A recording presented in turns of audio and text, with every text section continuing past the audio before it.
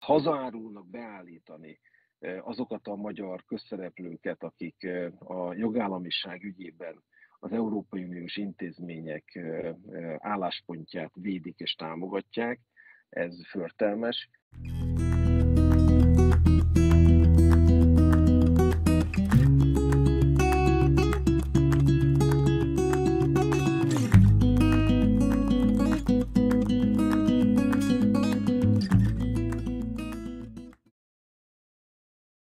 A folyamatos verbális politikai háborúzást tartja az elsődleges feladatának Magyarországon, az ne beszéljen békéről. Ráadásul az nem béke, hogyha az agresszort támogatjuk. Már pedig Orbán Viktor az agresszort támogatja. Az Európai Uniónak és Magyarországnak is az az érdeke, hogy minél hamarabb véget vessenek a vérontásnak, de úgy, hogy Putyin ne győztesként hagyja el a harcmezőt, hiszen azzal példát szolgáltatunk arra, hogy ugyanezt bármikor megcsinálhatja újra. Azt hiszem, hogy önnek emellett számos gondolata van a hazai politikai állapotokról. Például nagy port vert fel a közleményben a Magyar Péter jelenség úgy nevezett.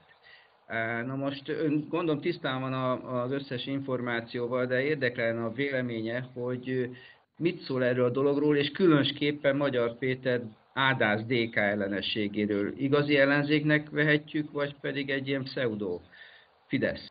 Nyilván többet tudok részben politikai szemtanúként is, aki érti a politika belső működését és a személyes szereplőket is ismerve többet tudok erről az egészről, mint, mint mondjuk édesanyám, aki újság és újságból és hírfogyasztóként szemléli az egészet. A, a Magyar Péter jelenséget én a teendő magyar demokrácia szempontjából egy nagyon fontos és üdvözlendő dolognak tartom, hiszen felkavarta az állóvizet. Mondhatnám azt is, hogy a bemocsarasodott állóvíz, poshat állóvíznek a levezetését, leengedését szolgálja mindazt, amit ő tesz, ami nyilván most felborítja az ellenzék eddigi belső állapotát, de ennek különösen örülök, mert 14 év kudarca és tehetetlensége után talán magára ébreszti az ellenzéknek azon szereplőit is. A felébreszti, és azt éri el vele, hogy mindent másképp kell csinálni, és aki pedig versenyképtelen, azok pedig hát szépen elveszítik a választóikat, úgyhogy én pozitív jelenségnek tartom. Nyilván az lesz az izgalmas kérdés, hogy az európai parlamenti választásokat követően a következő másfél éves időszakban, a 2026-os választások előtt Magyar Péter fel tudja azt mutatni, hogy valóban tud pártot, közösséget építeni és politikát, csúnya szóval érve politikát csinálni. A DK elnöke és a Fidesz elnöke, tehát Gyurcsány Ferenc és Orbán Viktor egyszerre tehertétel a magyar jövőnek. Kiki a saját szája íze szerint döntse el, hogy ez mennyire igaz, de nem általában az ellenzékről beszél Magyar Péter, hanem alapvetően a DK-ról.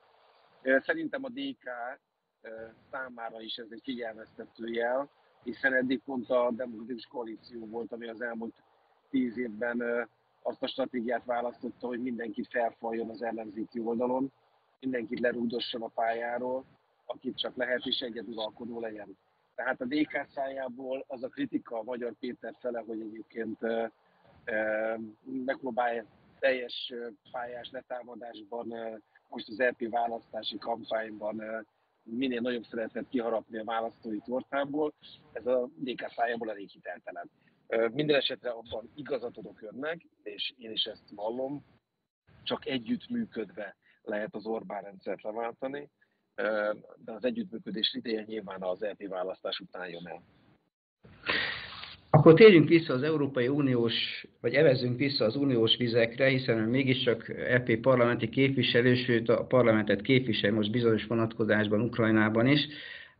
Igen érdekes lehet most idézőjelben Magyarország helyzete az Unióban, hiszen legutóbbi híreket hallva is, ugye általában szembe mennek a mainstream-mel, és Az Unió nem egy határozata azon bukik meg, hogy Magyarország, hát most már esetleg Szlovákia is blokkolja azokat, hogy nem lehetne egy olyan felállás, tudom, ez jogilag nem olyan egyszerű kérdés, és nem tudom mennyire megy, me, azonosítható a Schumann-féle alapelvekkel, hogy nem egységes határozatokat hoz az Unió, hanem egy olyan határozatot, hogy 26 1 vagy 24 kettő arányban így döntött az Európai Unió, és akkor ez hosszú távon kiderülhet, hogy nyilvánossá válhat, vagy nyilvánvalóvá válhat, hogy Magyarország, esetleg Szlovákia, hát Lengyelország most már nem, de milyen álláspontot képvisel bizonyos kérdésekben, és ebből kirajzódott egy tendencia, amit mindenki ismer ugyan,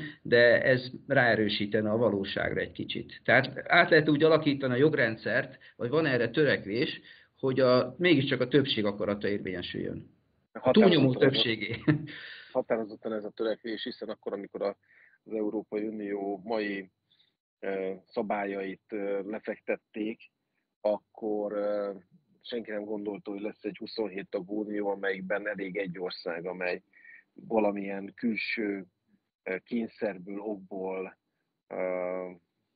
konkrétan például Putyint szolgálva trójai faluvaként az orosz agresszornak akadályozza a közös döntéseket. Éppen az elmúlt napokban borzolja a kedélyeket Grúziával kapcsolatban a helyzet. A magyar kormány és a magyar kormány által delegált biztos Várhely Olivér megakadályozott részben a tanácsban, részben a bizottságban egy közös európai állásfoglalást a grúz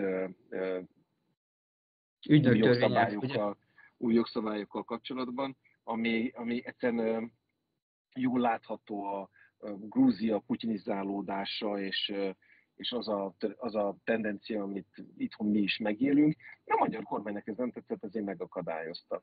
Így volt számos Moszkvával szembeni szankció kérdése is, és sok minden más is. Van egy ilyen törekvés tehát, hogy a, a, az Unió térjen át legalább a kül- és biztonságpolitikai kérdésekben a konszenzusos döntéshozatal helyett a többségi döntéshozatalra, viszont ezt jogilag el kell tudni fogadtatni. Tehát egyik a másikra ezt nem lehet elérni, de biztos, hogy ez lesz a vége, és ezt én magam is támogatom. Egy ország vagy egy kormány nem akadályozhatja meg a közös törekvéseket. A vétó az arra lett kitalálva, hogy van egy sajátos, speciális magyar szempont. Mondok egy példát. Mondjuk Magyarország geotermikus lehetőségei, ugye ismerjük mindannyian, hogy mekkora szerencsénk van a, Föld, az alattunk lévő Föld kincsével. De ez olyan speciális lehetőségeket hozhat, amelyben mondjuk születhetnek olyan Európai Uniós döntések, ami nekünk sajátos ellenérdek, mert más országok erre nem gondolnak, vagy nincs rá szükségük nekünk, meg különösen fontos. Na ekkor a vétó intézménye értelmezhető, hiszen egy ország azt mondja, hogy ácsé, én most veletek szembe megyek, de mert nekem ebben van e, sajátos szem, szemszög, szempontom.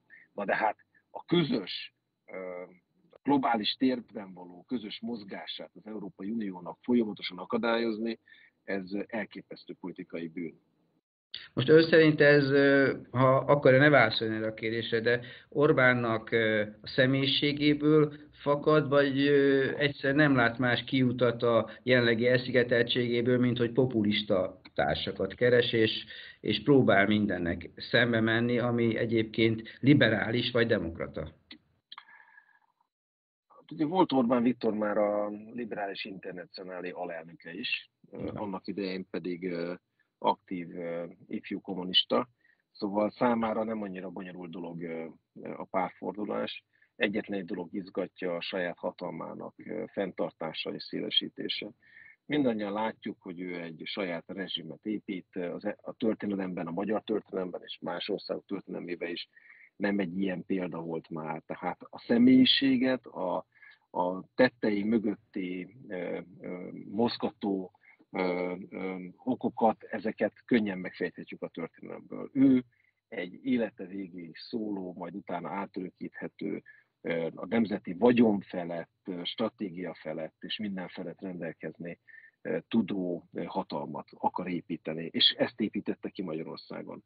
innentől kezdve számára nem az a fontos, hogy az Európai Unió közös érdeke és benne Magyarország érdeke mi, hanem hogy az ő hatalmának az itthoni stabilizálása az miképpen szolgálható. Tehát, hogyha innen indulunk ki, akkor válik érthetővé, hogy az Európai Unióban keres olyan társakat, és támogat olyan politikai erőket, amelyek az ő ilyen bandita magatartását tudják szolgálni, úton álló magatartását, hogy amikor valami neki nem tetszik, vagy nem érdeke, akkor keresztbe feküdjön az uniós döntéseknek, megzsarolja az Európai Uniót.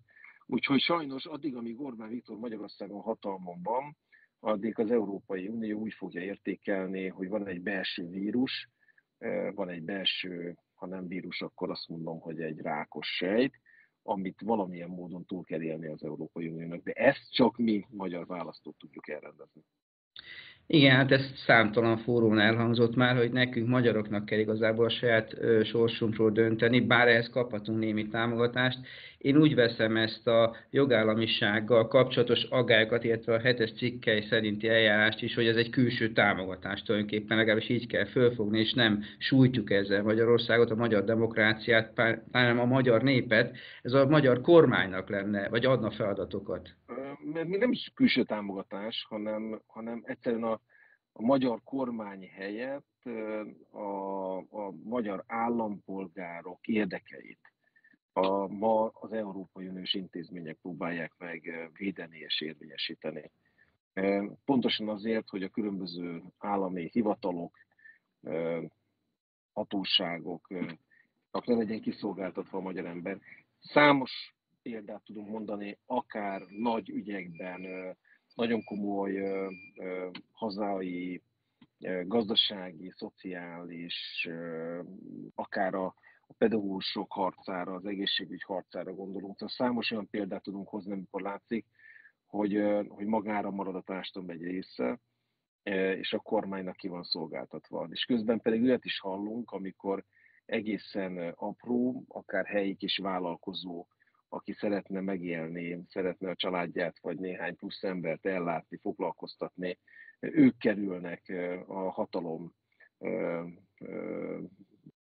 ellen sodrásába, és nincs, aki megvédje őket, mert egyszerűen a hatóságoknál a helyi fideszes nagyurak erősebbek, mint a magyar állampolgár. Na, ebben a kérdéskörben értelmezhető a jogállamiság, hiszen amit az Európai Unió megkövetel, nem más, mint hogy Magyarországon mi állampolgárok, közösségek számíthassunk arra, hogy a kormányjal szemben e, van független magyar jogérvényesítési lehetőség. Jelenleg ez igencsak csekély Magyarországon. Tehát innentől kezdve az Európai Unió az, amely próbálja ezt védeni.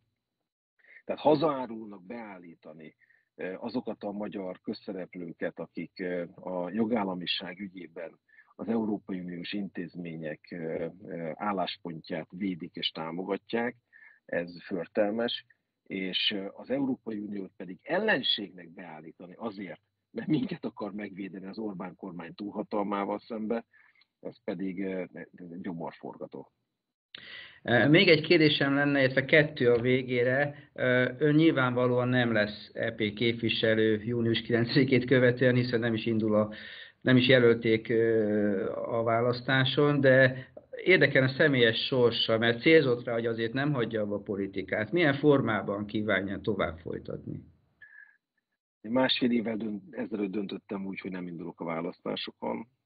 Ennek az előzménye az, hogy szerettem volna a saját közösségemet, az MSZP-t nem úgy felrázni, de egy, az alapjain, a cölöpökön Horgyula szülött. Horgyula, igen, emlékszem. Egy, egy új pártot építeni, mert az az álláspontom is az volt a határozott véleményem akkor is, hogy versenyképtelen lett az MSZP, és muszáj egy a történelem polcára elhelyezni az MSZP-t, és egyébként a szöröpökön egy újat építeni, akkor ebbe a kísérletbe belebuktam, igen. Legyek, legyek őszinte, a tagság támogatotta, a politikai vezetés pedig féltette a saját politikai egzisztenciáját és székét. Ezután kiléptem az MSZP-ből, aminek 18 éves korom óta voltam tagja, majd pedig eldöntöttem azt, hogy nem indulok a választásokon. Ma már úgy látom, hogy ezt nagyon bölcsen tettem akkor, jó volt a politikai szaglásom, hiszen amiről akkor is beszéltem, hogy, hogy unalmas az ellenzék, hogy valami változás kell, az most bebizonyosodott pont a Magyar Péter jelenséggel, hogy, hogy várt a választó valamire, hogy történik valami. Az esély közösséget megalapítottuk, nem lesz párt belőle, most viszont van például polgármester jelölt, akit mi támogatunk, és mi jelöltünk Csige Tamás Hajdodorogon, tehát nyilván ott vagyunk azért a közéletben, de az esélyközösség alapvetően szeretne a mostani 10-20 éves fiataloknak egy fajta inkubátor segítő közéletre szakmai és politikai szempontból felkészítő kis csapat lenni, úgyhogy fognak még velünk találkozni a, a választók. Én pedig szeretném azt bebizonyítani elsősorban saját magamnak, másodszorban pedig a külvilágnak, hogy hosszú több évtizedes politikai egzisztencia után van képességem, bátorságom, képességem arra, hogy a magánpiacon megéljek. Számos tanácsadói felkérést kaptam Brüsszelben, tehát Brüsszelben maradok fél lábbal, félig itthon, félig Brüsszelben. Vannak felkéréseim az Amerikai Egyesült Államokból is, és Ázsiából is, tehát egy meglehetősen komplex, nagy nemzetközi életem lesz. Talán tanulok vele annyit, és szerzek annyi kapcsolatrendszert és tapasztalatot, amit majd itthon tudok még hasznosítani a politikával, úgyhogy jövök még vissza. Köszönöm szépen, és további utat kívánok, és szerencsés visszatérést Ukrajnából. Remélem, hogy érdekes tapasztalatokkal, biztonságban, és még egy picit jobban megértve a ukrán helyzetet fogok hazajönni pár nap múlva, és köszönöm az érdeklődést.